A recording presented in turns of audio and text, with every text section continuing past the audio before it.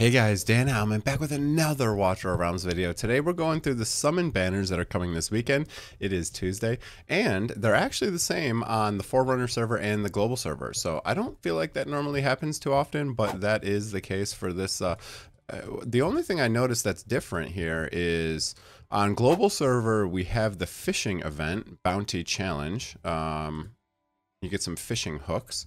And over here on Forerunner, instead of that, we have this Master Catch Up, which is the card game. So that's the only difference I notice on the events for some reason between the Forerunner and the global server. I don't know why it's different, but I uh, just wanted to point that out. But let's go through what we got going on in global server and Forerunner server. We have the event. I already kind of covered the event, so I won't spend too much time, but maybe I'll look at a couple things at the very end. Um, but first, let's go through summon banners. So we have a regular 15x banner. We have Xaris, who is the brand new summoner added to the game. This is the first time we'll have um, a banner for him on global server. So 12 cost, nice uh, low cost mage. Um, pretty cool hero. I have I tested him? No, I have not tested him on the test server yet. Um, maybe we'll have to get some time to test him before the weekend and get some uh, a video out on him. But interesting, he has uh, inherits 100% of the master's attributes and assist. I'm assuming when it says attributes, that's everything, including crit rate. Um, I would assume it's got ultimate that um, summons some souls here. Let's see what it looks like. Okay, they're like little totems basically that attack. Oh, they do move. They do move. They're like little tree things. I don't even know what these things are. Souls. Uh, okay, they're like a little soul, I guess. All right, so that's that. Um, he also has slow, which is nice because he is a cultist, so that'll help with the cultist lord. And after souls of the damned disappear, the existence of the remaining will be extended by one second. Okay.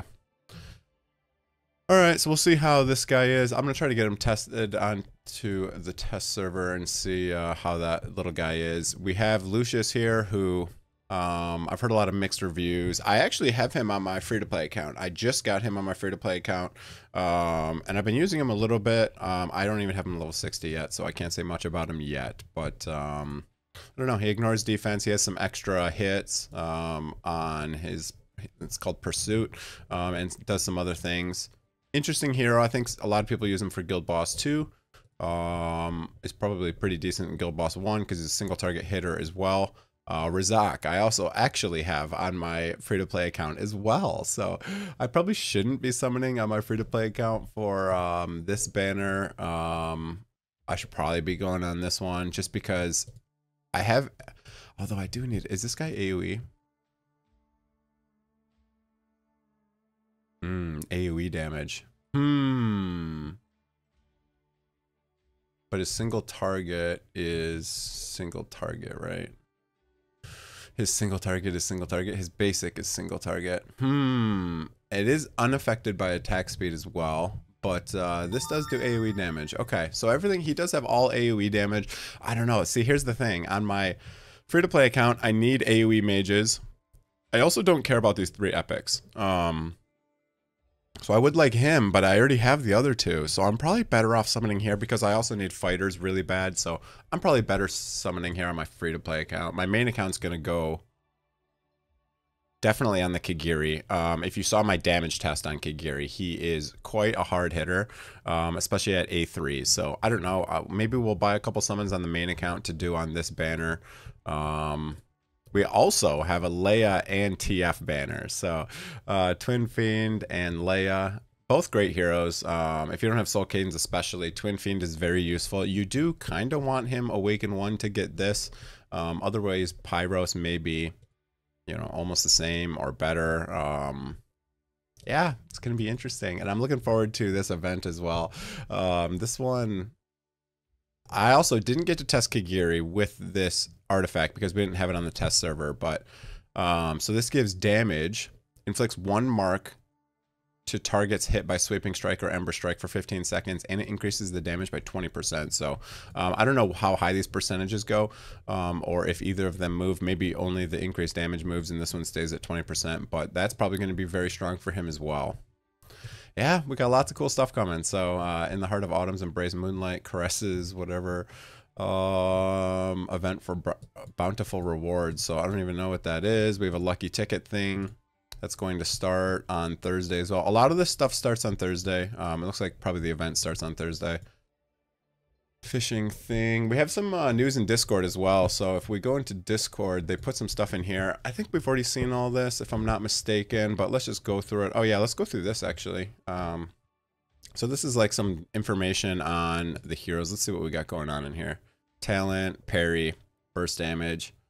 I saw a lot of people in Discord say that the parry mechanic needs to be used and you need to cater to it and this and that. I mean, I just threw this dude in Guild Boss and just did some damage by himself and um seems pretty strong and just a single target hitter and it has some AoE damage and has this ignores 50% defense and dispels one buff. So if you're looking for a dispeller, I think this guy's going to be very useful for GB2 for sure.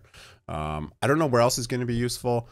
I've seen someone asked me in Discord, you know, where is it going to be useful? I mean, he's a fighter. He's a hard hitting fighter, has uh, damage ignore and um, 50, uh, sorry, it has defense ignore and dispels a buff. So I think you'd be able to use them in AMR. You'd be able to use them in possibly arena maybe uh gb2 you could use them in gb1 um any of the other stuff you need a fighter you could use them. So you know void rift etc so yeah here you go. Shields does some stuff. If he parries does another thing and then sometimes hits it again on the way back. Um yeah.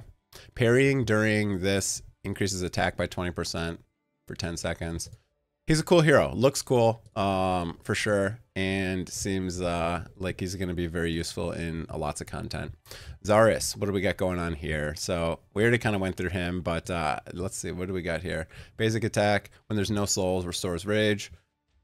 Uh, when summon, their next two attacks each dealing this and slowing. Okay. So yeah, already went through that, but uh, what else we got going on here? It looks pretty cool, both of them definitely looks pretty cool. I think this uh, Summoner Bro looks really cool. And I've said it before, but Summoners are kind of like my favorite class in most games. Um, this guy's like a samurai. He looks pretty sweet as well. Very cool looking. Uh, looks like we have a skin already.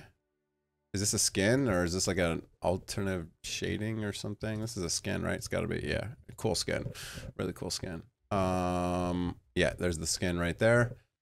And here we go. This is uh, kind of the event stuff. So this starts Thursday. Um, this is in-game, so we've seen this already, but they just put it in Discord as well. It looks pretty cool. I love the art they do. I, I love the art they do. It's pretty sweet. We got a login event. I don't know what this thing is.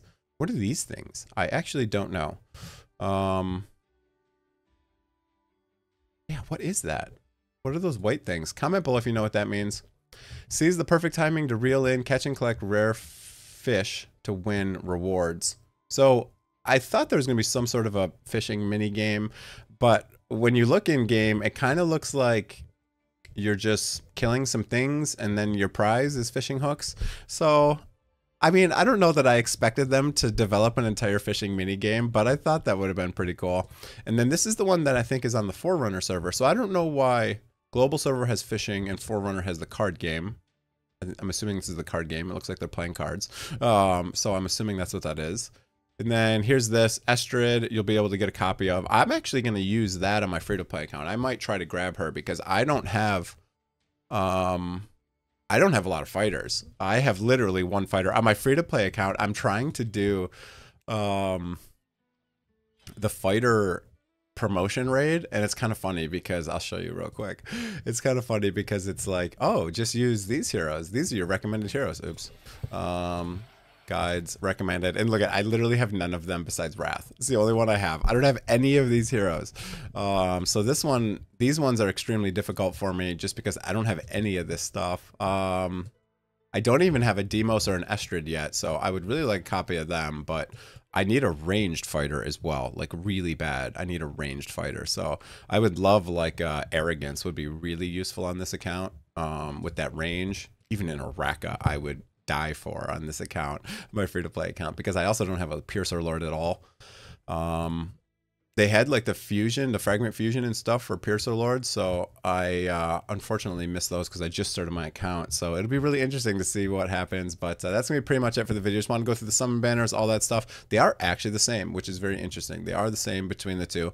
Very slight differences in terms of some of the events, but other than that, um, everything else seems to be pretty much the same between Forerunner and the regular server. That's gonna be it. Hope you guys enjoyed it. If you did, hit that like, hit that subscribe button. If you want to purchase any packs, um, use my link in the description below. It helps helps me out, helps you out. So uh, that's it for the video. Have a great day, everyone, and then enjoy your Tuesday.